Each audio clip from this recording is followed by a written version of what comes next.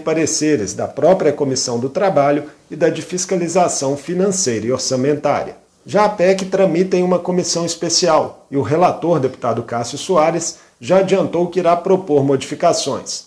Ele tem se reunido com representantes dos servidores e sinalizou que vai excluir a cobrança extraordinária proposta pelo governador Romeu Zema, mudar a idade mínima para mulheres e abrandar alíquotas, que na proposta original variam de 13% a 19%.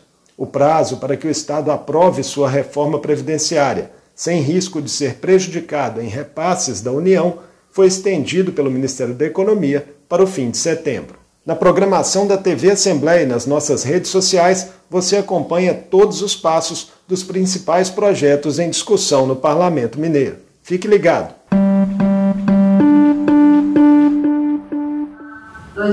E acaba então de começar a reunião ordinária da tarde desta terça-feira. Neste momento é feita a leitura da ata da reunião anterior pela deputada Leninha.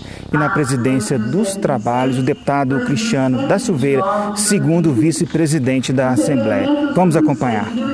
6.053 a 6.055, 6.057 a 6.059, 6.061 a 6.067, 6.072 a 6.081, 6.083 a 6.090, 6.091 a 6.091, 6.094, 6.095, 6.114 e 6.116 de 2020. E comunicações do deputado Sábio Souza Cruz, duas, Proferem discurso a deputada Ana Paula Siqueira, os deputados Cristiano Silveira, Vigílio Guimarães, Carlos Pimenta e Sargento Rodrigues. A deputada André de Jesus e o deputado Betão. A seguir, o presidente verifica de plano a inexistência de quórum para a continuação dos trabalhos e encerra a reunião, convocando as deputadas e os deputados para a ordinária de terça-feira, dia 11, às 14 horas, com a ordem do dia regimental. Levanta-se a reunião. Em discussão a ata. Não havendo quem sobre essa se manifeste, dou por aprovada. A presidência, diante da emergência de saúde pública ocasionada pela pandemia da Covid-19 e da importância da adoção de procedimentos de prevenção à infecção e à propagação do coronavírus, esclarece que a reunião ordinária será realizada de forma remota, nos termos da deliberação da mesa número 2737 de 2020, observando-se o disposto no inciso 2 do artigo 14 e no artigo 22 do regimento interno e nas demais normas regimentais aplicáveis, bem como as seguintes diretrizes. 1. Um, somente será registrada a presença nas reuniões de plenário das deputadas e dos deputados que ingressarem na plataforma do Sileges ou no ambiente da videoconferência Zoom. 2. Os parlamentares podem se inscrever por meio de plataforma Sileges para falar no grande expediente pelo prazo de 15 minutos, nos termos do artigo 26, combinado com o artigo 157 do Regimento Interno. 3. Será admitido a parte no grande expediente que não excederá 3 minutos, nos termos do parágrafo 1 do artigo 162 do Regimento Interno para realizar a parte, os parlamentares devem se manifestar pelo chat online, escrevendo expressamente a parte. 4. Para arguir questão de ordem nos termos do artigo 166 do Regimento Interno, os parlamentares devem se inscrever pela plataforma Sileges na aba Reuniões Plenário. 5. Será cancelada a inscrição do deputado que, chamado, não estiver online no sistema de comunicação remota utilizado pela Assembleia. Nesse caso, os deputados, o deputado deverá se inscrever novamente, ainda se quiser fazer uso da palavra. Não havendo problemas técnicos ou perda de conexão, a presidência passará ao próximo parlamentar inscrito e, assim que o deputado ou a deputada voltar a se conectar, ele será chamado para continuar seu pronunciamento pelo tempo que lhe restar, desde que ainda não tenha sido encerrada a respectiva fase da reunião em que o pronunciamento estava sendo feito. Não havendo correspondência a ser lida, a presidência passa a receber proposições e a conceder a palavra aos oradores inscritos para o grande expediente. Com a palavra, primeiro escrito, o deputado Guilherme da Cunha. Boa tarde, senhor presidente, boa tarde, colegas, boa tarde também a toda a população de Minas Gerais que nos acompanha pela TV Assembleia e pela internet. Presidente, gostaria apenas de confirmar o meu áudio está ok, o vídeo também funcionando adequadamente? Senhor presidente? Está ok sim, deputado.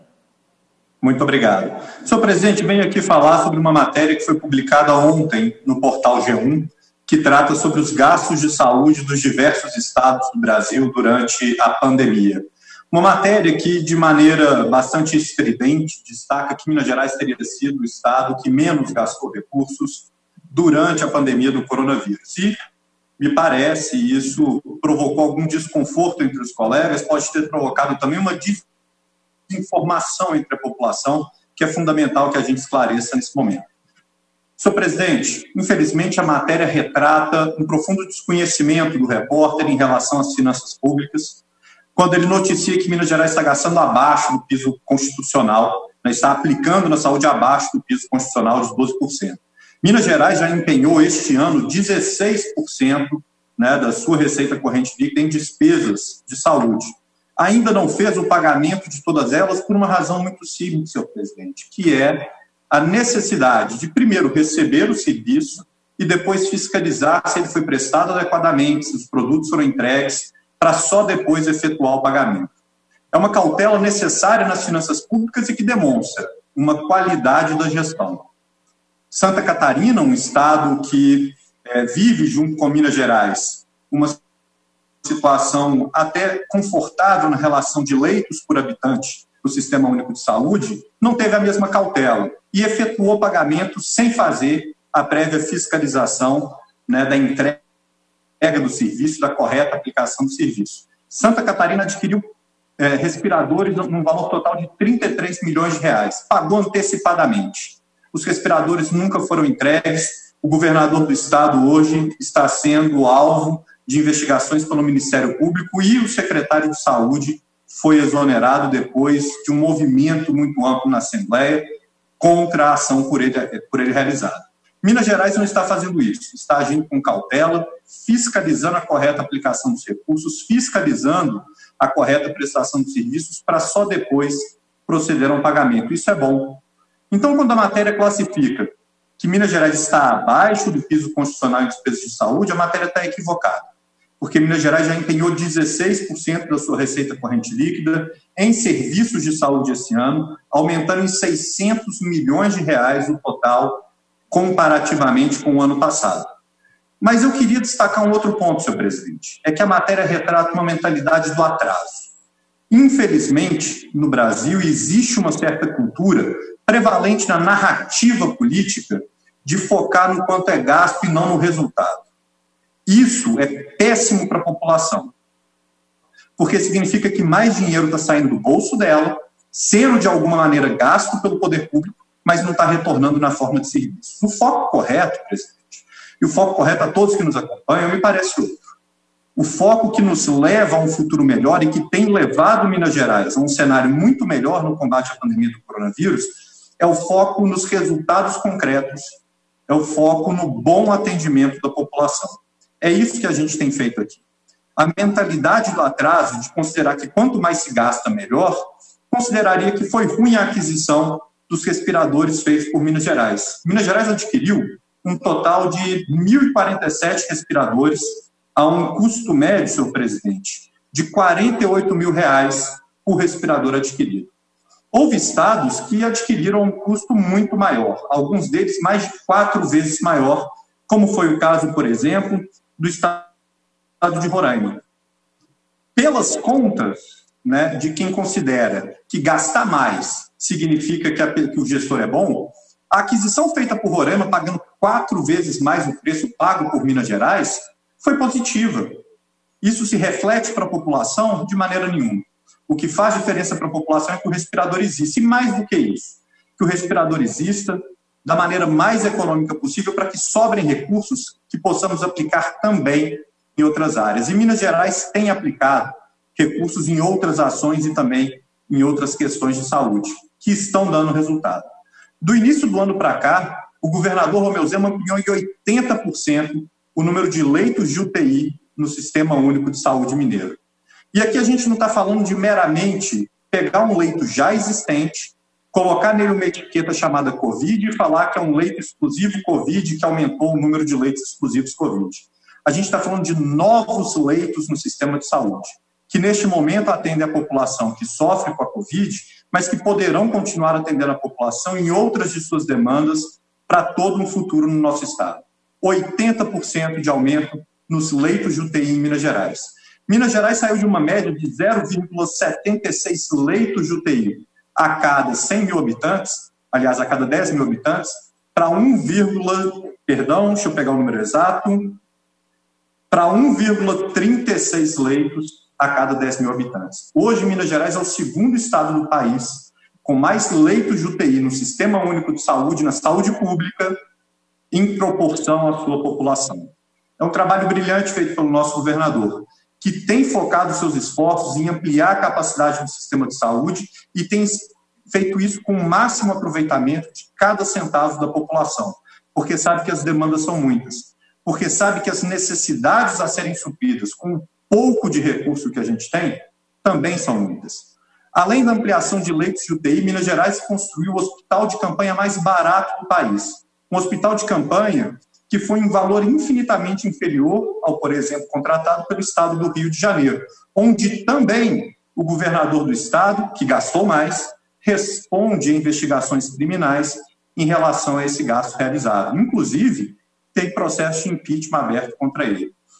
É dessa maneira, senhor presidente, focando no resultado concreto para a população e não no gasto, né, em cada, no volume total de gasto, que Minas Gerais consegue ser hoje o estado com a melhor taxa de mortalidade de Covid do Brasil, a mais baixa de todas, em todo o Brasil, é a de Minas Gerais.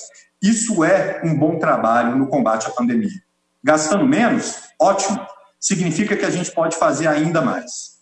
Significa que a gente tem condições de colocar o salário do servidor em dia, ou de pelo menos tentar antecipar essa data do pagamento, permitindo que aquele profissional que está atendendo a população tenha condições de trabalhar com maior tranquilidade.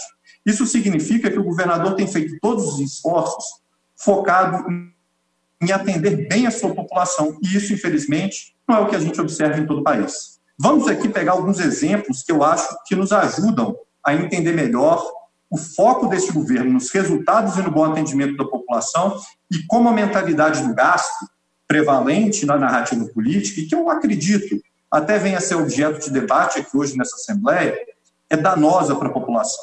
A gente tem como os dois estados que mais gastaram com serviços de saúde esse ano, segundo a apuração do G1, os estados, aliás, os três estados, Amazonas, Tocantins e Pernambuco. No Amazonas, senhor presidente, a gente tem uma taxa de óbitos a cada 100 mil habitantes que é 4,8 vezes maior que a de Minas Gerais. No, em Pernambuco, a gente tem uma taxa de óbitos por habitantes que é de 4,3 vezes maior que a de Minas Gerais. E no Tocantins é 70% maior. Esses estados estão gastando mais. Esses estados estão gastando um valor muito superior ao nosso. O resultado está sendo bom? A população lá está melhor atendida? Houve ou não houve colapso no sistema de saúde? Aqui em Minas Gerais não houve colapso. Ninguém ficou sem atendimento por falta de vaga em hospital, por falta de vaga em UTI. Muito por conta desse trabalho realizado de ampliação da capacidade de atendimento feito pelo nosso governador. Não podemos dizer a mesma coisa sobre o Amazonas, onde pessoas morreram sem acesso a respirador, onde pessoas morreram sem acesso ao hospital e UTI. Não podemos dizer isso de quase nenhum outro lugar do Brasil, exceto aqui. E não se diga, senhor presidente, que um pouco desse resultado, ou muito desse resultado, seja devido a uma subnotificação ou qualquer coisa relacionada ao governo maquiar os dados. Muito longe disso. Minas Gerais ocupa o primeiro lugar no ranking da transparência em relação aos dados Covid em todo o Brasil. É o primeiro lugar com o menor índice de mortalidade, é o primeiro lugar na transparência e ainda é, senhor presidente, um lugar que está fazendo tudo isso economizando cada centavo da população. Podemos dizer o mesmo de todo o país? Certamente não. A gente tem já abertos processos de investigação criminal em relação ao gasto, em relação ao desperdício do dinheiro do cidadão durante a Covid, nos estados do Amazonas, né, governado pelo senhor Wilson Lima, do PSC, no Ceará, governado pelo Camilo Santana, de seu partido, senhor presidente, do PT, no Mato Grosso, governado pelo senhor Mauro Mendes, do Partido Democratas, assim como em Pernambuco, governado por Paulo Câmara, do PSB, no Rio de Janeiro, governado por Wilson Witzel, do PSC, em Santa Catarina, governado por Carlos Moisés, do PSL, e em São Paulo, governado por João Dória, do PSDB. Em todos esses lugares, a suspeita é de que o gasto feito, esse gasto tão alardeado como sendo a medida da preocupação e da qualidade do gestor, na verdade foi desperdício, quando não foi corrupção. Aqui em Minas a gente não tem isso acontecendo. Aqui em Minas a gente tem o um respeito com o dinheiro do cidadão.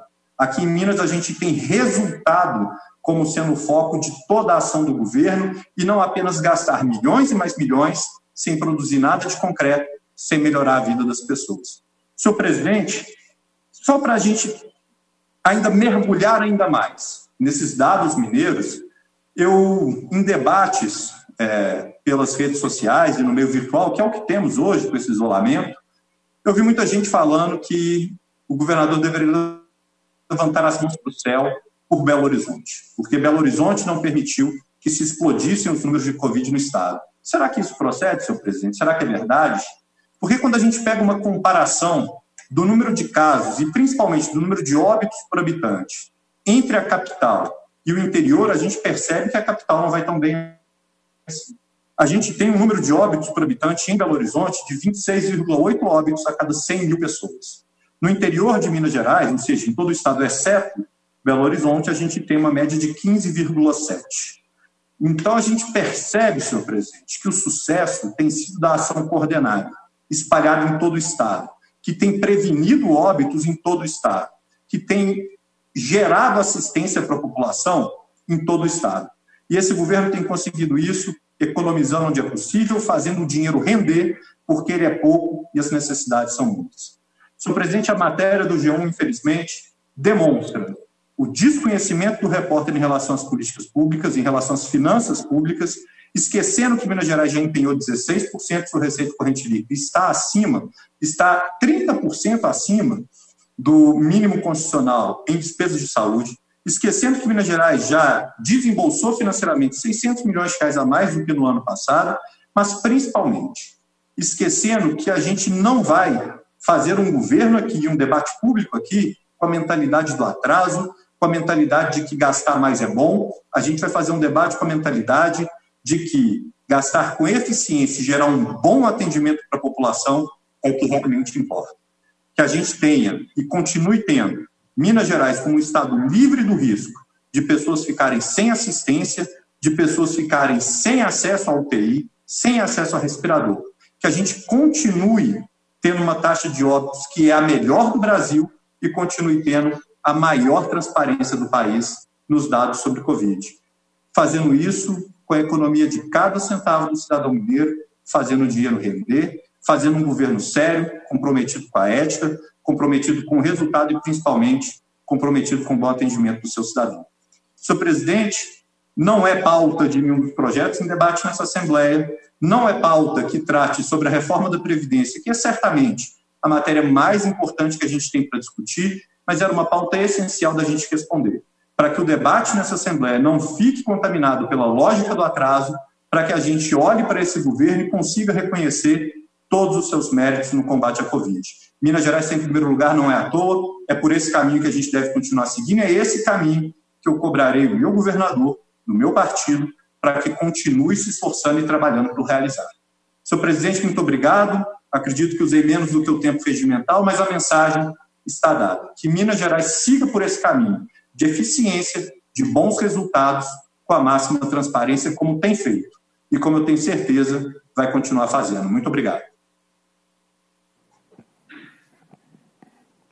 Ok. Passamos a palavra para o próximo inscrito, deputado Arlen Santiago.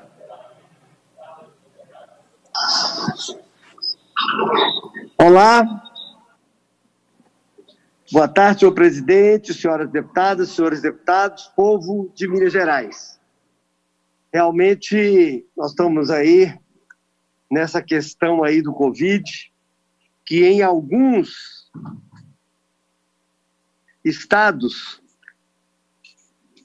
ele já começa realmente a cair. E Minas Gerais, com uma curva, pelo bom trabalho do governo e pelo bom trabalho, principalmente da população, que tem evitado as aglomerações, nós tivemos uma curva que demorou a chegar no platô e agora nós queremos, devemos ver dentro das próximas semanas cair bastante.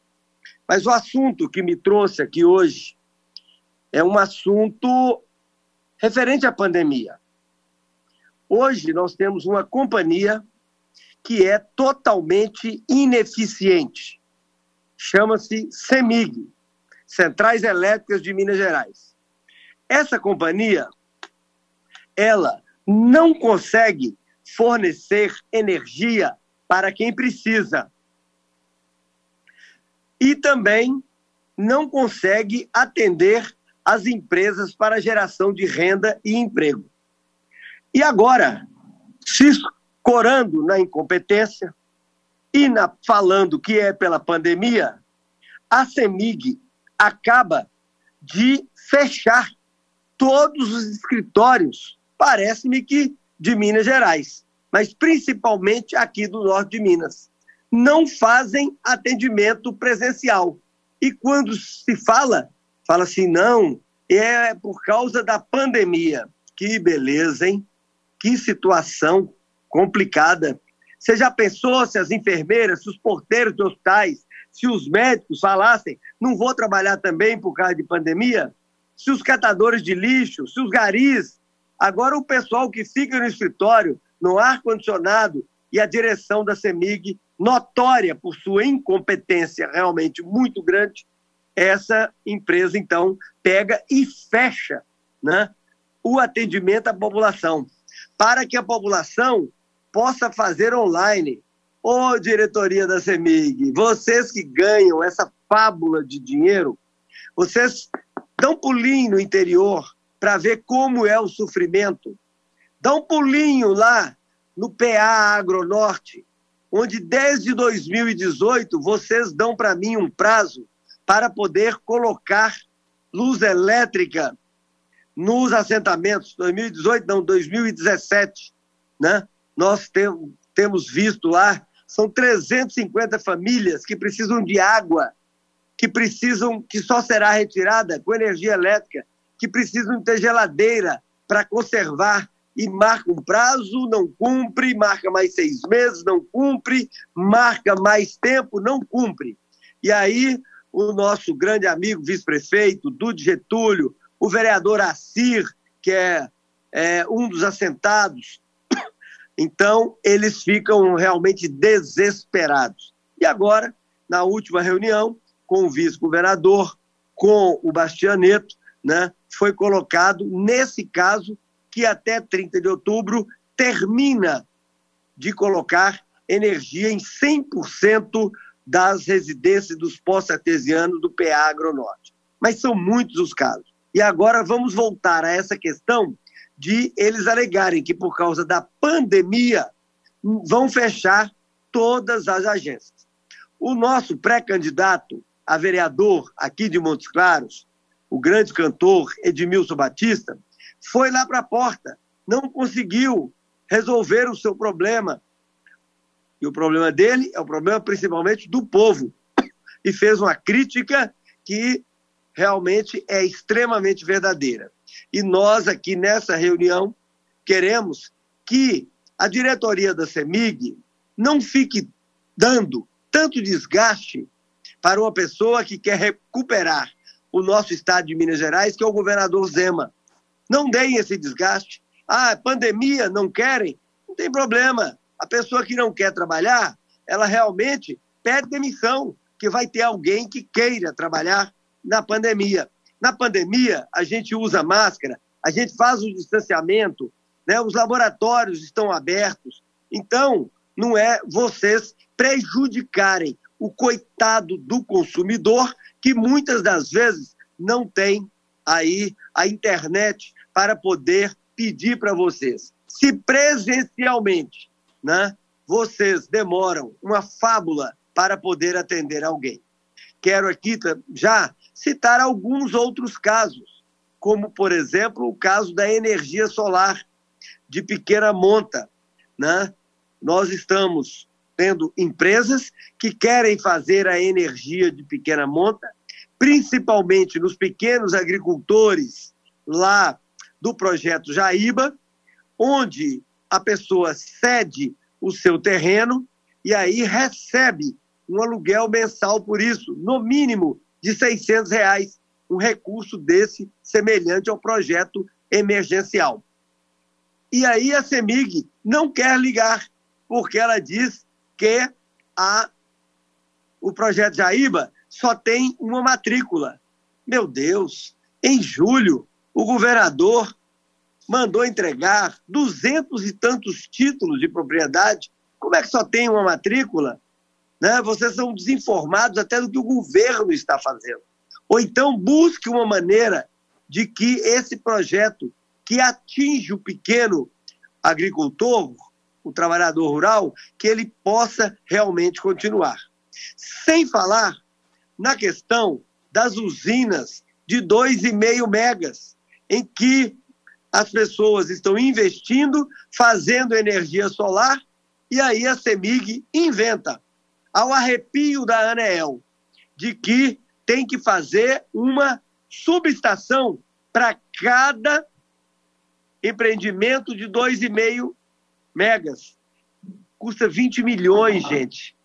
Vocês não recebem bem as pessoas, fecham e agora querem cobrar 20 milhões para quem quer, quer investir em Minas Gerais. É duro, não está fácil. Além dos mega projetos, que vocês pedem dupla alimentação, quando a ANEEL fala que não, vocês já foram multados pela ANEEL. Então, a CEMIG precisa de reabrir imediatamente as suas lojas nas cidades do interior, que já são poucas, e vamos botar para trabalhar quem realmente quer trabalhar, com máscara, com face shield, o que for necessário, mas não pode fazer essa maldade com a população de Minas Gerais. Era isso, senhor presidente, que a gente gostaria aí de estar falando hoje né? E na próxima semana teremos outros anúncios e veremos o que a CEMIG faz hoje. Estamos entrando com um requerimento na mesa da Assembleia para que a CEMIG se explique por que, que ela pode se proteger tanto da pandemia, alegar pandemia para não receber ninguém, pode marcar quantas pessoas vão ser recebidas, pode cuidar adequadamente, nós sabemos como nos protegermos, né? e realmente a CEMIG, mais uma vez, pisa na bola o povo. Um grande abraço para todos os senhores deputados deputadas que estão aí trabalhando na pandemia. Né? Amanhã mesmo, em Montes Claros, o ministro Marcelo Álvaro Antônio, do partido do PSL, estará aqui às 14 horas para assinar um convênio para fazer um grande anfiteatro no valor de 4 milhões de reais. A Prefeitura de Montes Claros já avisou que só podem estar lá, nesse local, 30 pessoas. Ponto final.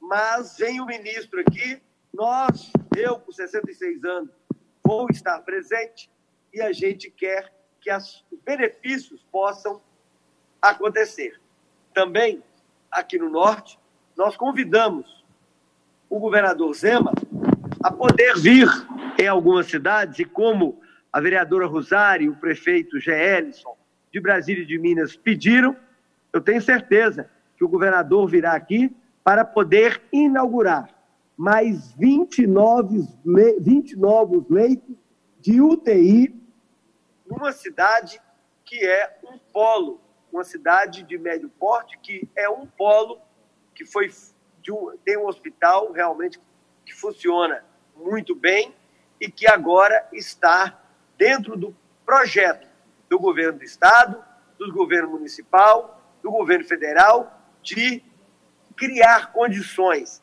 para poder ter medicamento, ter médicos, ter equipe, ter o CTI, que é o principal para os casos graves de quem, infelizmente, tiver aí é, essa doença, o Covid-19. Mas muitos estão sarando. Aqui mesmo quero mandar um abraço para o Hospital Dilson Godinho, em Montes Claros, onde a grande maioria de pacientes graves estão conseguindo se recuperar.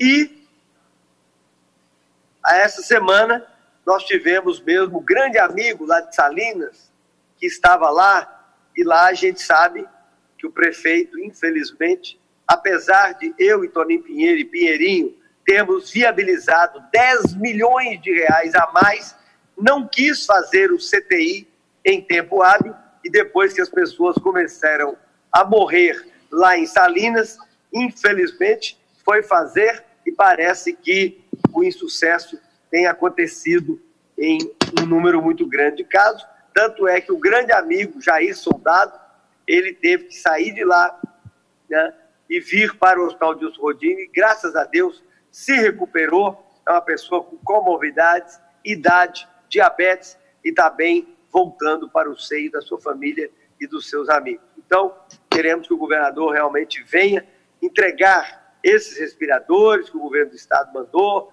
para a cidade de Brasília de Minas. Fizemos o um convite para que o Igoreto fale com ele. Estamos aguardando o mais rápido possível, se possível ainda essa semana, porque lá já vai ficar à disposição da população. Um grande abraço a todos os mineiros. Felicidades.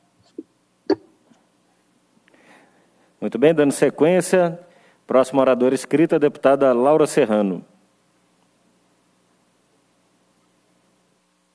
Boa tarde, senhor presidente, colegas parlamentares. Nesse momento tão triste da história da humanidade, a gente chega à infeliz marca de mais de 101 mil vidas perdidas no Brasil. Essa é uma experiência perturbadora e que devasta todos os dias centenas de famílias. Para cada história interrompida por essa doença tão perversa, minha profunda solidariedade e o meu respeito. Nesses dias de tanta dor e tristeza, é preciso mais do que nunca a união e a empatia. É preciso ter fé, ser forte e reinventar atitudes que reflitam o melhor do ser humano. Nos últimos meses, assistimos uma onda de solidariedade tomar conta do país. São milhares de pessoas que voluntariamente criaram alternativas para enfrentar esse momento tão difícil. São mulheres que costuram máscaras para doação, são jovens interessados em ajudar e resguardar os grupos de risco, psicólogos e psicanalistas que realizam atendimento virtual e gratuito, professores que recriam todos os dias suas aulas pela internet, grupos que conectam comerciantes a consumidores, como exemplo da iniciativa Compre em BH, o Compre em BH tão necessário para fortalecer pequenos e médios empreendedores aqui na capital. São inúmeros exemplos de empatia e de cidadania. Eu acredito muito no cidadão como agente de transformação, principalmente em períodos tão desafiadores como esse que estamos vivendo. Precisamos fortalecer as iniciativas da sociedade civil para que mais pessoas possam participar e colaborar como puderem. A solidariedade é um eixo fundamental da transformação social e hoje ela se faz especialmente necessária. Obrigada, senhor presidente. Muito bem, deputada. Próximo inscrito, deputado André Quintão.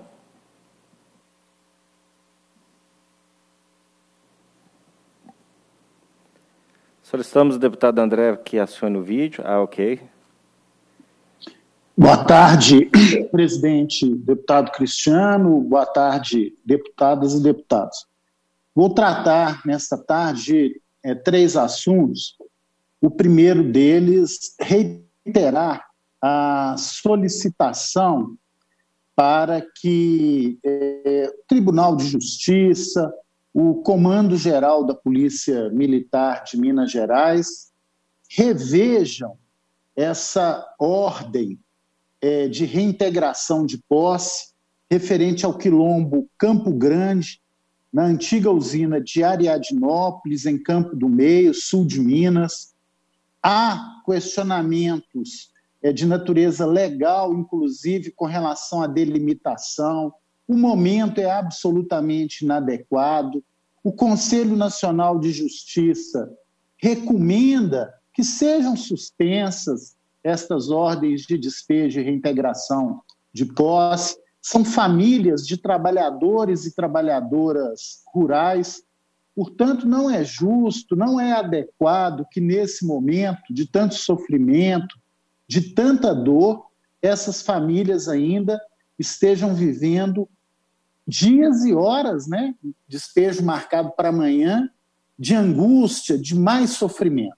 São pessoas trabalhadoras e trabalhadores rurais.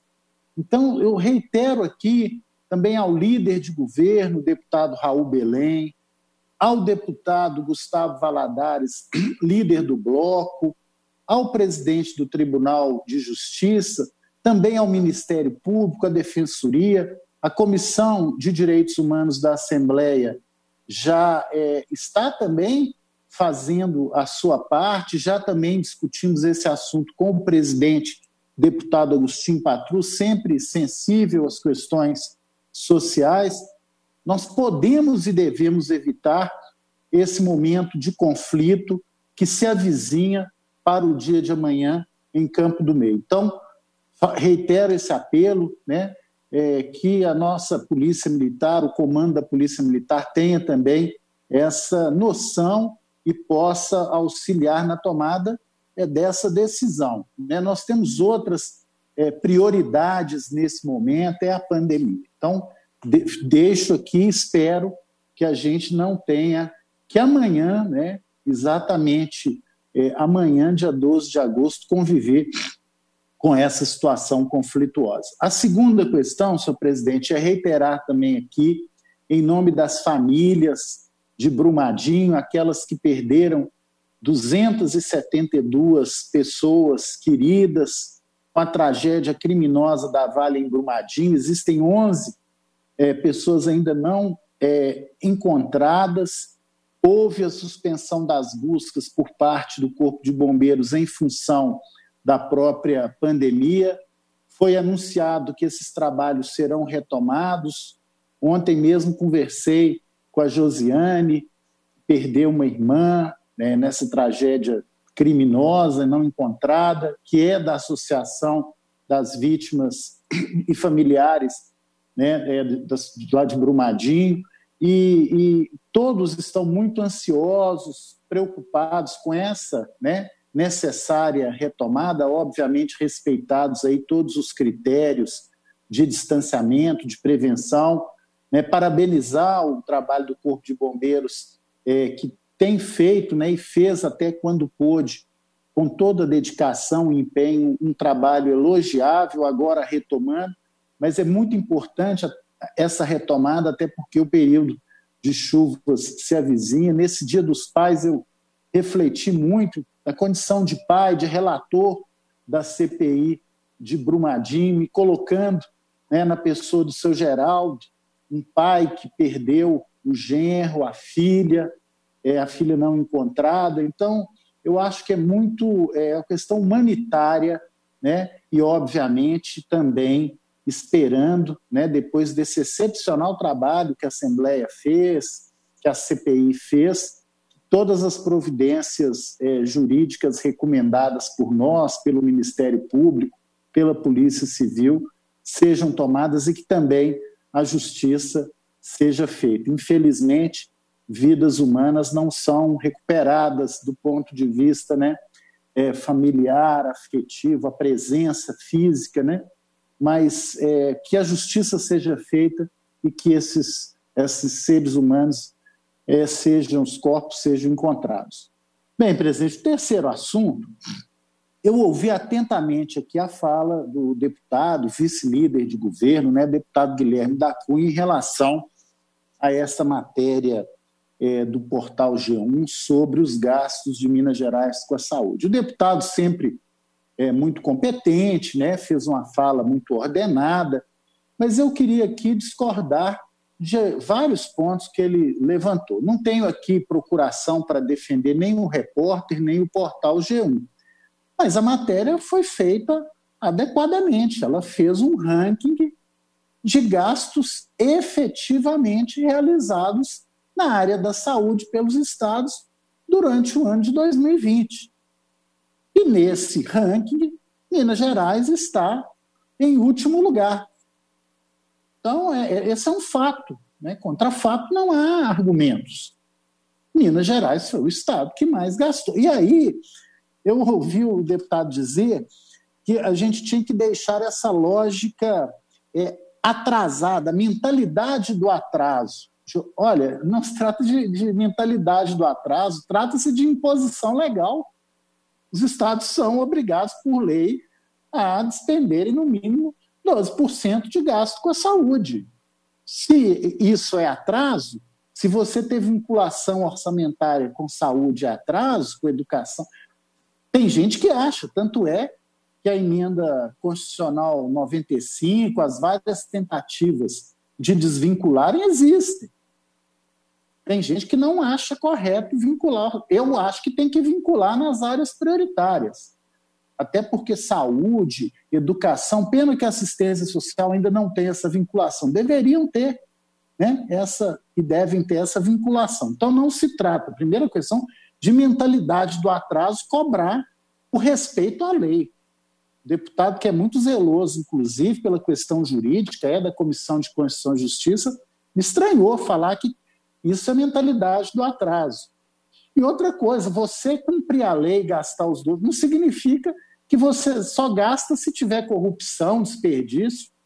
É absolutamente possível você respeitar a legislação, ter os investimentos necessários nas áreas prioritárias, cumprir a lei sem desperdício e sem, eventualmente, sem corrupção. Então, também discordo disso. A outra questão é que esse cenário em, em Minas Gerais, da forma que foi apresentado, é como se o Estado não precisasse é, de mais investimentos em saúde. Como se os 7,76% é, efetivamente gastos já estivessem dando conta da situação. Olha, a testagem, Minas Gerais é um dos piores estados em testagem.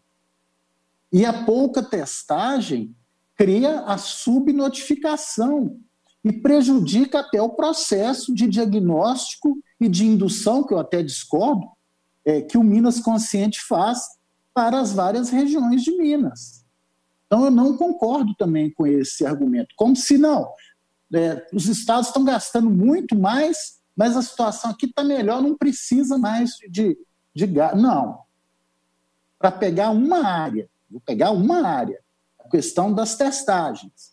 Minas Gerais está devendo. Com certeza, o próprio deputado Cristiano sempre levanta aqui para nós né, os casos de síndrome respiratória aguda grave, né? mortes por, por síndromes assim cresceu 800%. É lógico que há é, subnotificação. A outra questão, ah, mas está empenhado. Olha, nós estamos entrando num período é, pré-eleitoral, existem restrições de repasse aos municípios. Então, é, uma parte desse recurso poderia estar sendo destinado para os municípios, com resoluções que já foram publicadas, com recursos que os municípios podem, no momento mais importante da pandemia, terem um desempenho maior. Porque, infelizmente, o vírus se interiorizou. Então, essa repercussão ocorre em praticamente todos os municípios mineiros. São pouquíssimos aqueles que ainda não tiveram casos de coronavírus. Então, é muito importante que seja feito esse esforço de repasse de recursos para os municípios, inclusive aí observado o período da legislação pré-eleitoral, período legal. Então, é importante, sim, que esses recursos, aqui eu não estou falando de pagar serviço que não foi realizado, óbvio. Eu estou falando aqui de repassar recursos para que os municípios desenvolvam bem as suas ações de enfrentamento à pandemia. Então, eu não acho que é uma posição confortável.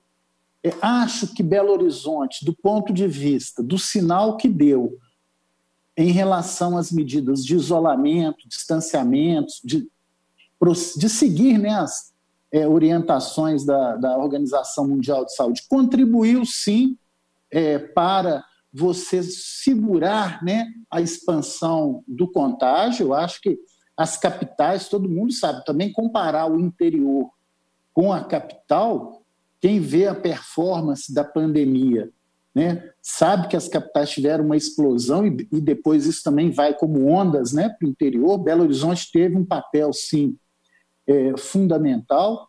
Então, eu queria aqui, de maneira muito é, é, respeitosa, é, discordar dos argumentos é, mencionados pelo deputado Guilherme em relação é, a uma crítica ácida né, à, à matéria, mas a matéria fez um levantamento, fez o um levantamento de quanto até aqui foi efetivamente gasto.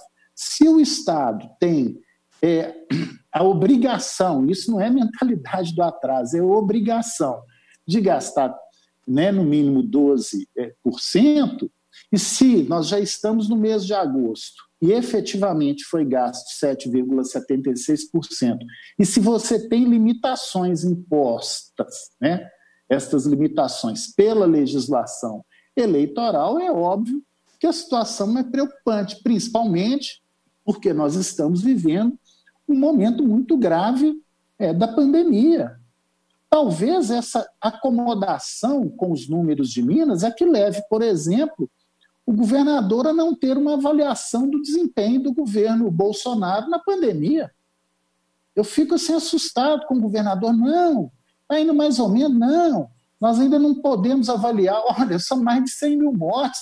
O presidente desrespeitou claramente as regras de distanciamento, isolamento, falou em gripezinha, colocou o Brasil para brigar com parceiros internacionais, não coordenou é, uma colaboração federativa. Presidente Bolsonaro, desastre no enfrentamento da pandemia. O Brasil é um dos piores países do mundo. Minas Gerais teria muito mais leitos de UTI habilitados pelo governo federal. Nós temos que cobrar do governo federal isso ele que tem uma capacidade, inclusive, de financiamento maior. Porque também não adianta, ah, não, nós temos um hospital de campanha é mais, mais barato. Como né, nosso deputado é, Sábio Souza Cruz sempre menciona, né, é, hospital cenográfico de campanha, porque é um hospital também de campanha, é o mais barato, mas não funciona. Ah, mas não precisa funcionar porque não está precisando de leito é, os leitos lá não são os leitos de UTI. Não, então pode ter havido talvez uma precipitação, né? Aí talvez para a FIENG, né? Que estava tanto querendo flexibilizar, não quero cometer injustiça, não sei se foi isso, nem generalizar, porque a FIENG tem colaboradores em todo o estado, é uma federação, mas a gente sabe que houve sim uma pressão para que houvesse a flexibilização das atividades econômicas para a FIENG, e ao mesmo tempo ela quis é dar uma contribuição, talvez, né, é, agilizando aí o hospital é, de campanha, mas o hospital de campanha, efetivamente, qual que é o papel que o hospital de campanha teve nos números de Minas Gerais até hoje? Não estou falando que tomara que não tenha, inclusive nesse momento, de, a vir a ter, né? Tomara que a gente tenha cada vez mais a, a, a caída né, da taxa de ocupação, seja de leito clínico, seja de leito é, de UTI. A gente torce aqui é para o melhor, não é para o pior. Né? Graças a Deus, a nossa oposição aqui em Minas Gerais não foi a oposição que o governo Pimentel sofreu, não. Onde as pessoas torciam para dar errado, entrava na justiça, inviabilizava repasse. Né? Nós não. Ano passado ajudamos né, na questão da Codemig, no Fundo de Erradicação da Miséria, esse ano também no, no diálogo permanente com o governo. Então, aqui eu queria fraternalmente é, discordar do vice-líder de governo. Não vamos nos acomodar. A situação não, não está essa tranquilidade toda como alguns querem passar. O vírus se interiorizou, tem regiões com superlotação de leitos, né? Então se cuidem e vamos continuar cobrando, principalmente do governo federal, as suas responsabilidades. Muito obrigado, presidente. Obrigado, deputado André Quintão. Dando sequência, próximo orador, deputado Fernando Pacheco. Boa tarde, deputado Cristiano Silveira, presidente desta sessão. Boa tarde a todos os deputados e deputadas presentes, aos funcionários e funcionárias que também estão trabalhando nesta sessão, e ao deputado Duarte Bestir, que hoje aniversaria. Quero estender um abraço fraterno e as bênçãos de Deus para a sua proteção e de sua família. Presidente, é, esse momento de uso da palavra é para eu externar agradecimentos. Quero muito agradecer ao deputado Carlos Pimenta, que é o presidente da Comissão de Saúde. Deputado Carlos Pimenta, tão logo tomou conhecimento de um problema que nós estávamos atravessando aqui no Hospital de Cataguases, e ele fez uma intervenção junto ao governo do Estado, na Secretaria de Estado de Saúde, na qual a Secretaria de Estado providenciou a presença de técnicos e de gestores regionais para poder detectar o problema e solucioná-lo. É, ainda não digo que está resolvido o problema, mas após a intervenção do deputado Carlos Pimenta, é, as coisas voltaram ao normal. Nosso hospital tinha o risco de entrar numa grande situação caótica de não poder atender as pessoas tendo leito, medicação e espaço físico. Por quê? Porque os funcionários eles estavam seguindo um exame de COVID, que é o exame do teste rápido, e aquele exame detectava mais de 50% de contaminação de todo o corpo funcional do hospital. Isso causou um pânico nos profissionais que ficaram em estado de preocupação iminente, porque realmente isso poderia comprometer a vida desses profissionais e de todos os outros pacientes que pudessem adentrar ao hospital. Mas, com a sabedoria de pessoas como o Dr. Carlos Pimenta e também da Secretaria de Estado, que nos enviou uma, uma equipe para analisar a situação, foi ministrado com é, exames mais resolutivos que perceberam que aquele exame do teste rápido ele estava errado. E eu não tenho os números para dizer, mas a estimativa é de que dos contaminados pelos testes rápidos, apenas uns 10% é que estavam realmente contaminados. Ou seja, de 50 pessoas, talvez 5 estariam realmente iniciando um processo de manifestação da doença e não era o que o teste rápido tinha dito Dessa forma, foi tomado as providências, está sendo dado sequência no acompanhamento deste fato, e aí acabou-se aquela preocupação da sociedade, dos profissionais, de ficarem preocupados de estar no hospital de ir para o hospital para fazer um atendimento até diferente do da Covid, um atendimento de uma situação de um mal súbito, de um acidente. Então, isso foi desfeito e eu externo meu agradecimento especial ao Dr. Carlos Pimenta, presidente da Comissão de Saúde, que disponibilizou toda a estrutura da Assembleia, da comissão e do conhecimento dele para nos dar essa ajuda e ela aconteceu. Aconteceu no tempo e na hora certa, graças à boa vontade desse grande líder aí, nosso deputado de sete mandatos, uma pessoa no qual eu já o admirava e muito, e agora muito mais, carregando uma dívida de agradecimento por esse grande feito para a nossa cidade. Nossa cidade, doutor Carlos Pimenta, e agradece muito. Ouço isso dos médicos, dos funcionários e até da gerência regional de saúde, que ficou muito é, feliz de ter feito essa condição de intervenção vinda de uma manifestação minha para você, na qual você já foi direto no secretário e a coisa se resolveu. A você, Carlos Pimenta, muito obrigado. Agradeço também ao secretário de Estado da Saúde, o doutor Carlos Eduardo, o Renan Guimarães, que é o gerente regional de saúde da microrregião de Cataguases e Leopoldina, e nós todos estamos assim muito mais tranquilo do que antes. Não estamos totalmente tranquilos por causa do alto índice ainda, né, de contaminados e de pessoas que estão vindo a óbito. Como eu disse na semana passada, nós perdemos a Aline, uma enfermeira de 40 anos. E agora, presidente, aconteceu o falecimento de um, de um filho de Cataguases, que nasceu em Cataguases, estudou nas escolas públicas de Cataguases, todo o ensino fundamental e secundário, e formou-se em medicina e neurocirurgia. Eu estou falando do doutor Lucas Augusto Pires, que aos 32 anos, esse neurocirurgião perdeu a vida por ele ter sido contaminado pelo vírus, por ele ter tido a ação de médico dele na linha de frente, e foi uma perda irreparável para o país inteiro.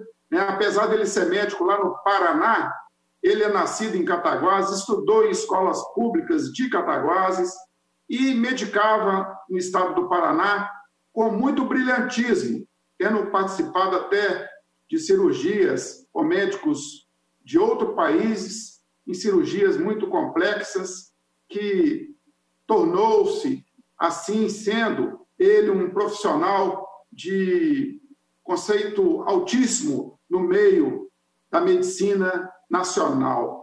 E dessa forma, presidente, é, eu quero é, pedir a consciência das pessoas que essas pessoas conscientizem para proteger as próprias vidas e também a vida dos profissionais de saúde que têm salvado milhares, centenas de milhares, milhões de vidas mundo afora.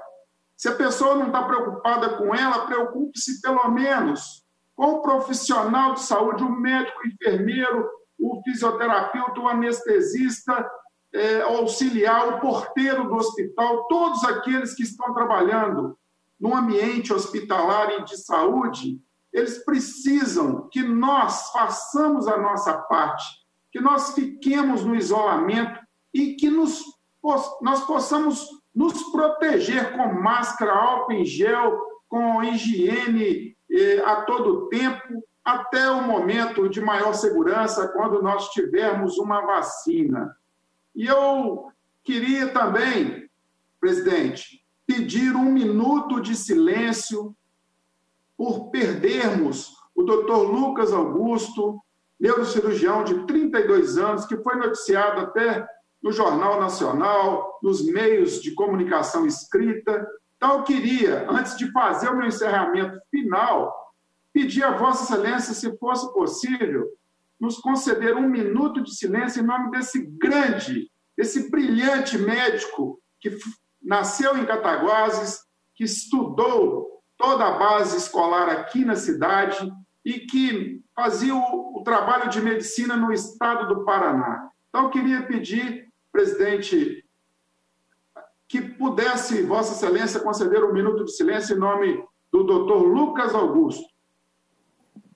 Pois não, deputado. Sua solicitação ela é justa e vamos conceder então um minuto de silêncio em homenagem a esse profissional de saúde que dedicou a sua vida na luta contra o Covid-19 e que essa homenagem se estenda a todos os trabalhadores que vêm aí lutando bravamente para cuidar da saúde pública de nossa população.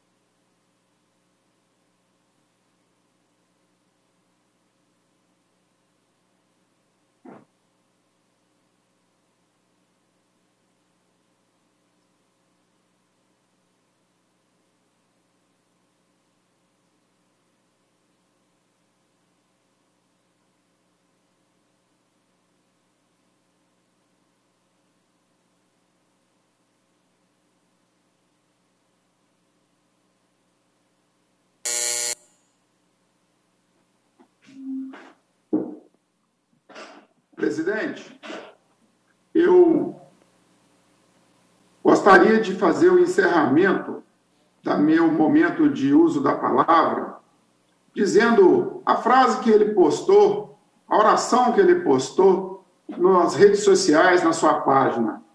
Peguei essa doença fazendo o que eu mais amo, cuidando dos meus pacientes com amor e dedicação. Faria tudo outra vez.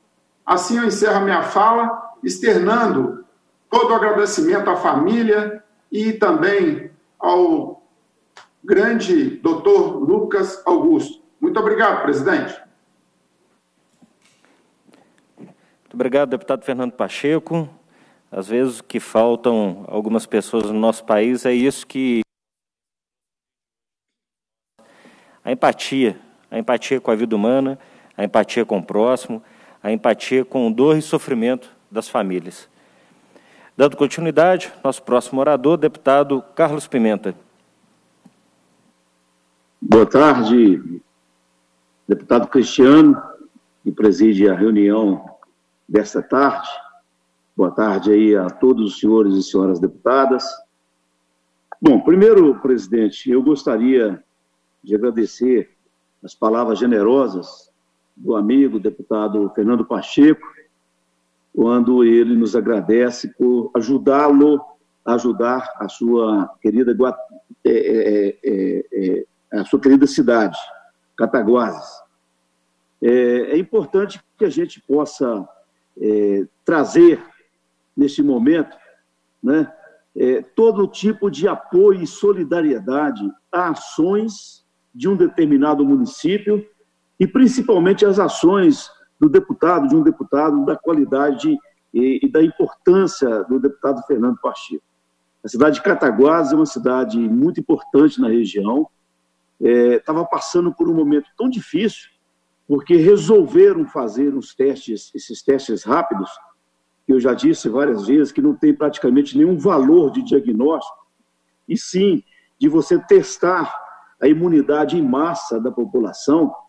Quando a gente vê assim algum país falar assim, ah, está aplicando milhões de testes, tem que saber qual é a qualidade desse teste, porque os testes rápidos eles têm importância em determinadas situações. E lá em Cataguases, o hospital de Cataguases, eh, eles fizeram o teste e grande parte da população eh, apresentou né, o resultado. Foi um resultado surpreendente, porque grande parte da, da, da, dos funcionários estavam, é, entre aspas, contaminados. Fernando me ligou, conversei com o secretário, foi desencadeada uma ação e, e, mostrou que efetivamente não é bem dessa maneira e que a, a, a, pandemia, você, além de combater o vírus, você tem que combater também né, informações dessa natureza, que traz o pânico para a população. Deputado Fernando Pacheco ele destinou mais de 2 milhões e meio das suas emendas para a área da saúde, inclusive um milhão de reais para o Hospital de Cataguases, e esses recursos certamente vão ajudar muito a saúde né, daquela população. Eu espero que fatos iguais a este não voltem a acontecer, porque não ajuda em nada. Isso só traz dificuldade, só traz pânico e só traz aborrecimentos para a população e, e é importante que a gente tenha essa consciência. Quando você falar sobre determinado assunto, quando você criticar as ações de um governo do Estado, de um governo municipal sobre a pandemia, você tem que ter muito segurança do que você fala, porque senão você acaba, acaba atrapalhando aí o processo de enfrentamento do coronavírus. Então, Fernando, receba meu abraço, estou inteiríssimo à disposição de você, dos outros membros, dos outros 76 membros dessa casa, para a gente poder ajudar a superar com menos sofrimento essa epidemia que já se mostra o enfraquecimento dela e se aproximando da fase final. Se Deus quiser, isso vai acontecer em breve. É, eu queria tratar de um assunto hoje, presidente, mas eu não poderia deixar é, de citar antes é, os anúncios que foram feitos de que Minas Gerais estaria entre o pior dos estados brasileiros em termos de investimentos na área da saúde. Então, Minas Gerais está na, no último lugar do Brasil. Depois veio o companheiro e amigo o deputado Guilherme, o Guilherme da Cunha, que mostrou que os recursos foram empenhados Até então, até agora, nós estamos aí no mês de agosto, né, faltam ainda cinco meses aí para terminar o ano, e os recursos empenhados já chegam a 16% das receitas correntes, ultrapassando em muito, mas em muito, todos os anos anteriores, cujos governadores não passavam de 5%, de 6%, acumulando uma dívida monstruosa da área da saúde do estado de Minas Gerais. É, é claro que o recurso empenhado ele precisa ser efetivamente disponibilizado para ser utilizado, porque de empenho nós estamos cansados. Né? Você veja aí que chega no final do ano, o governo, para poder acertar virtualmente as suas contas, empenham bilhões. E depois, quando chega no próximo ano, os recursos não são liberados.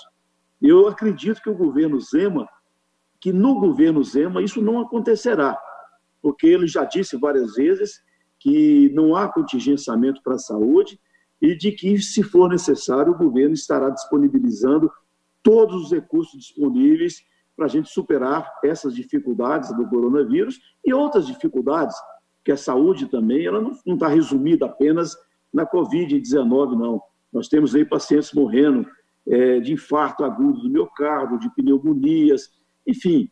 Então, a vida continua. E, e, e, é importante que o governo entenda isso e até então está entendendo. Eu, eu espero que haja é, uma, uma, um esclarecimento por parte dos órgãos de imprensa. Eu, eu, eu acredito que Minas, mesmo com, com 150 mil casos já confirmados, né, com 3 mil mortes, eu acredito que Minas ela está lutando para cumprir o seu papel. Se você olhar o que acontece em outros estados, a gente vai ver que aqui em Minas as coisas estão acontecendo, mas não da forma é, é, emergencial, é, como acontece em São Paulo, como acontece no Rio de Janeiro, no Rio Grande do Sul e em vários outros estados. Então, eu, eu espero que o governo possa é, é, dar uma explicação efetiva. Ainda ontem, na reunião que nós fizemos internamente com o presidente, eu solicitei do presidente a realização de uma audiência pública da Comissão de Saúde. Eu estou disposto a fazê-la o mais rapidamente possível, convidando o secretário para vir, convidando os técnicos da secretaria para que estejam presentes, para explicar exatamente isso. Porque quando fala que Minas Gerais é o estado que menos aplicou na saúde pública, que não cumpriu nem 5% do preceito constitucional, eu fiquei preocupado demais. Eu senti mal. Não é possível né, que isso está acontecendo. Eu acredito que não. Então, hoje, o, o Guilherme é, ele vem trazer parte das explicações e o restante das explicações nós vamos fazê-la juntamente com o secretário de saúde para que a gente possa saber não só é, o que foi aplicado, mas também quais são as medidas que estarão sendo tomadas nesses próximos três meses, porque esses próximos três meses ainda serão meses muito difíceis para a população brasileira e para a população mineira. Finalizando, presidente, eu queria dizer que na cidade de São João do Paraíso, uma cidade importante que fica lá no alto do Rio Pardo, é, o Ministério do Trabalho, ou, ou, a superintendência do antigo Ministério do Trabalho, né? Eu nem sei o que é que chama hoje, porque parece que o Ministério do Trabalho ele se fundiu com, a, com o Ministério da Previdência ou o Ministério da Assistência Social. Bom, é, a verdade é que os técnicos foram lá em São João do Paraíso e, olha, eles interditaram 10 empresas que elas é, é, são utilizadas para poder fazer, são 10 destilarias que usam a folha do eucalipto para a produção do, do óleo do eucalipto. Muito bem, essas interdição dessas 10 empresas, elas impactam no município com a, per, com a perda momentânea de mil empregos diretos. Mil! Mil empregos diretos numa população é, é, que representando quase, é, quase 10% da população economicamente ativa lá daquela região. As pessoas que trabalham, as pessoas que estão ali, ainda mais nessa pandemia, faltando emprego, desemprego brutal que está acontecendo, e esses, esses, técnicos foram lá e na, na, na letra frio da lei eles interditaram e deram um prazo muito exíguo, muito pequeno, para que as empresas pudessem fazer algumas adequações. Né? Nenhuma corria risco de explosão de uma caldeira. Não era isso, eram pequenas coisas que chegaram lá, ah, não está de acordo, está tá aí, está interditado, e não pensaram nas consequências quando nós temos no Brasil hoje quase 13 milhões de desempregados, em que o governo brasileiro está gastando bilhões e bilhões para manter essa, essa ajuda emergencial e numa cidade pequena é, é causa essa, sabe, esse, esse mal tão grande, pior do que a Covid, que é deixar mil famílias desempregadas. É, eu recebi a solicitação da prefeita Mônica, é, nós vamos a Belo Horizonte amanhã, eu estou em Montes Claros, estou aqui na, no, no, meu, no meu gabinete em Montes Claros, e amanhã nós estaremos deslocando para Belo Horizonte, juntamente com a prefeita Mônica, com o advogado das empresas, representante das empresas, e vamos estar conversando com o doutor João Carlos Gontijo, que é o superintendente né, do Ministério do Trabalho em Minas Gerais. E nós vamos pedir a ele nada mais do que bom senso. Nada mais do que bom senso.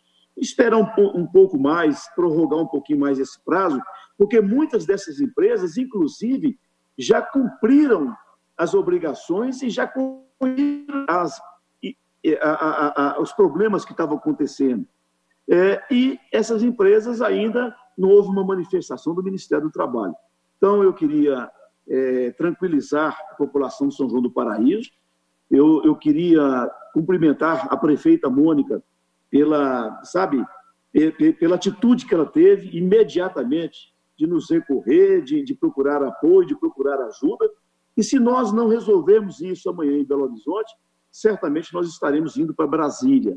Porque eu não acredito que em tempos de pandemia, com milhões de desempregados, com falta de dinheiro para poder custear é, atenções de saúde básica na maioria dos municípios brasileiros, o governo federal vai ficar insensível com esse ato que, que eu chamo até responsável de paralisar 10 empresas que geram mil, mil empregos diretos no município de São João do Paraíso.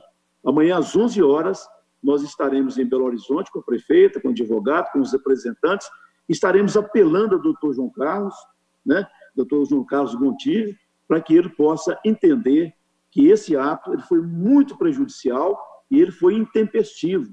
Poderia ter dado um prazo mais elástico, ou pelo menos analisado com mais agilidade os recursos que foram feitos e as provas que foram apresentadas, dizendo que essas empresas já cumpriram as inadequações que foram, então, apontadas por técnicos do Ministério do Trabalho.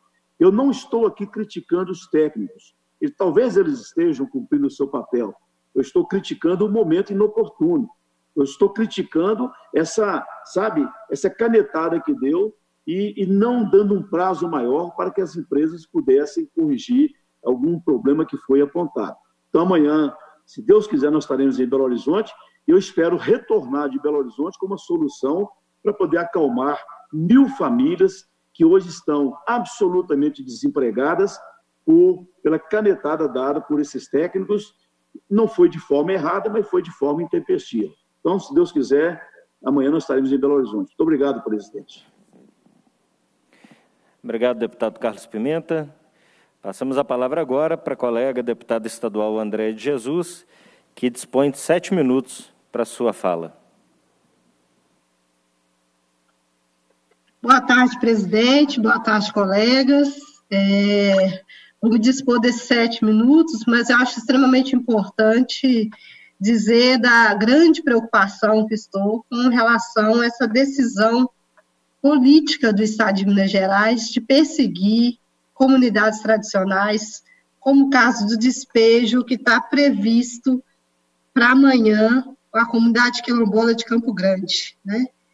Quando a gente vem ao longo desses anos denunciando necropolítica e o quanto isso avançou no nosso estado de Minas Gerais, com os conflitos fundiários, sempre os latifundiários conseguem falar mais alto, até mesmo no período da pandemia, nem com as mortes sufocando ricos, pobres, a gente consegue fazer com que o Estado tenha consciência da falta da política de habitação, de reconhecimento e titulação de terras quilombolas, e ainda mais grave, presidente e colegas deputados, né? nós estamos falando de uma, um assentamento onde milhares de mulheres trabalham e produzem produtos orgânicos, né? O café agroecológico, o café Iguaí, que muitos de nós já acessamos, é, são produtos de extrema qualidade e que, tá, e corre o risco de tudo acabar amanhã com uma mera decisão é, inconsequente no momento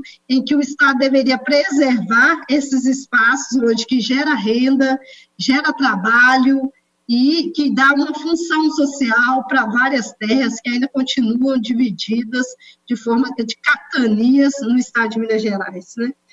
dizer disso tudo, presidente, é, é também, eu queria é, é trazer a preocupação que ainda está com o contingenciamento e nesse, no meio de tudo isso, a reforma da Previdência, né? É, é, o deputado que me antecedeu, que abriu as, os debates hoje à tarde, vem falar de, de é, que o Estado tem gastado menos, mas a gente tem enfrentado um contingenciamento que é uma forma de redução do Estado e reduzir a vida das pessoas. Nós tivemos que acionar a justiça para garantir que a pasta da cultura não fosse mais contingenciada, porque ela ainda, ainda continua, né? porque o fundo de cultura ainda não chegou nas mãos daqueles que são de direito, que é dinheiro público, né? tem que voltar para o povo. Mesma coisa, nós vimos que ainda não tem um plano de atendimento para as comunidades tradicionais.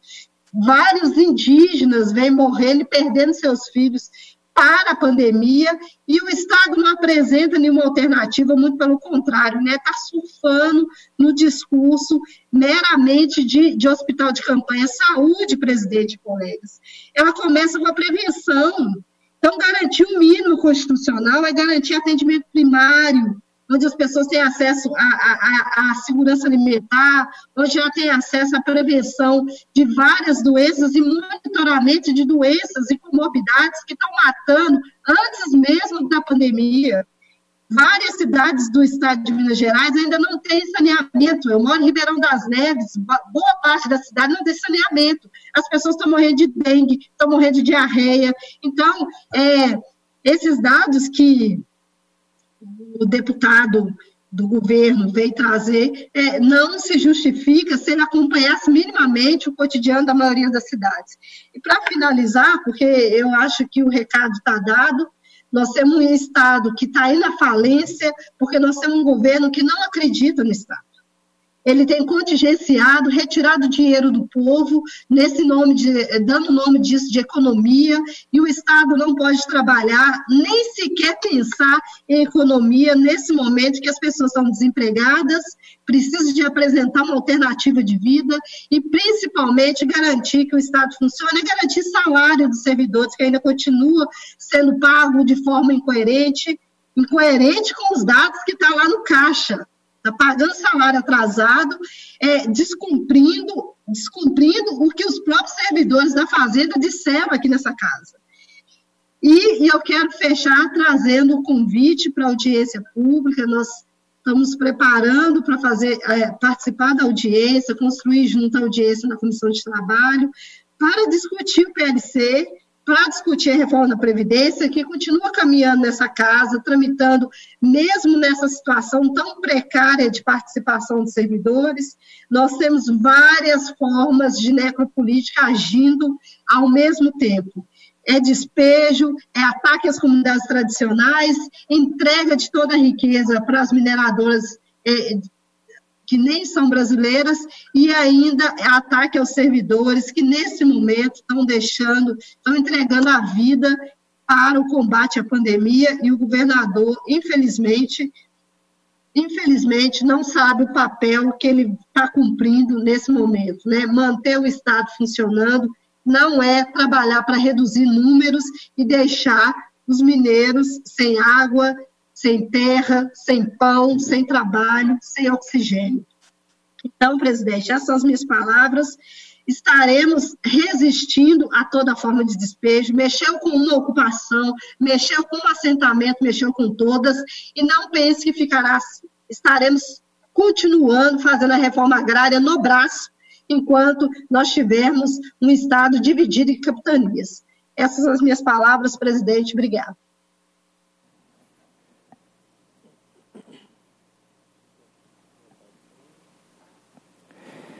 Esgotado o prazo destinado à primeira parte, a presidência passa à segunda parte da reunião com a primeira fase da ordem do dia, compreendendo a apreciação de pareceres, requerimentos e indicações. Estão abertas as inscrições para o grande expediente da próxima reunião. A presidência informa ao plenário que foi recebida nesta reunião a mensagem 92 de 2020 do governador do Estado, encaminhando o projeto de lei 2136 de 2020, que autoriza a abertura de crédito suplementar ao orçamento fiscal do Estado em favor do Ministério Público do Estado de Minas Gerais.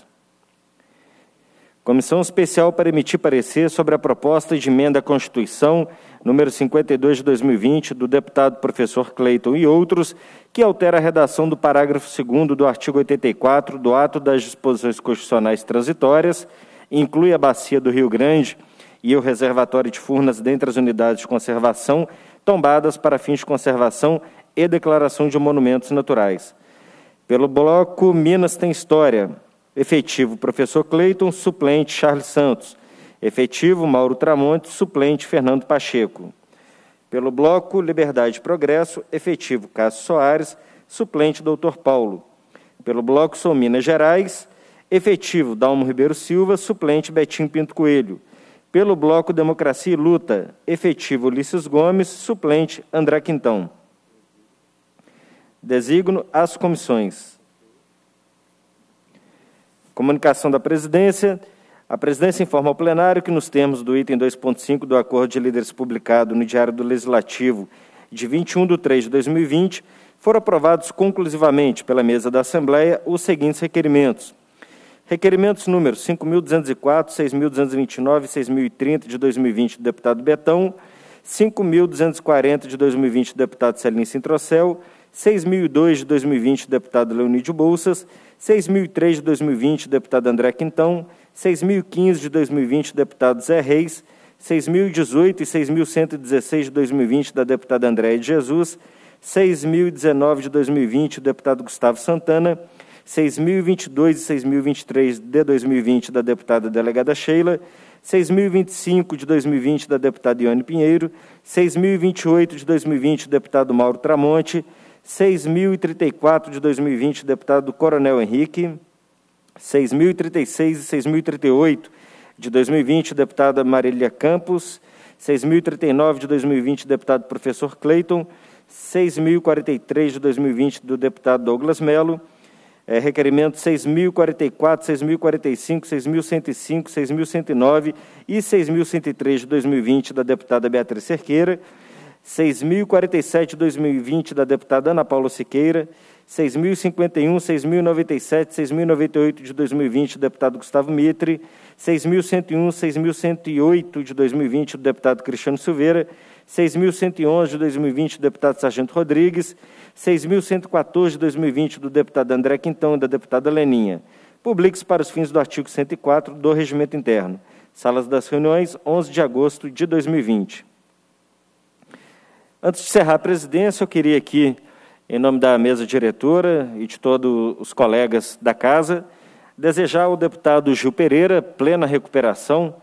É, o deputado comunicou aos colegas que foi testado positivo para o Covid-19 passa bem, está tá seguindo todas as orientações médicas e mantendo aí todos os devidos cuidados. Fica aí, deputado colega Gil Pereira, todos os nossos votos e orações para sua plena recuperação. A presidência encerra a reunião e convoca os deputados e os deputados para a extraordinária de amanhã, dia 12, às 10 horas, nos termos do edital de convocação, e para a ordinária também de amanhã às 14 horas, com a ordem do dia a ser publicada. Levanta-se a reunião. Você viu aí que o deputado Cristiano da Silveira, segundo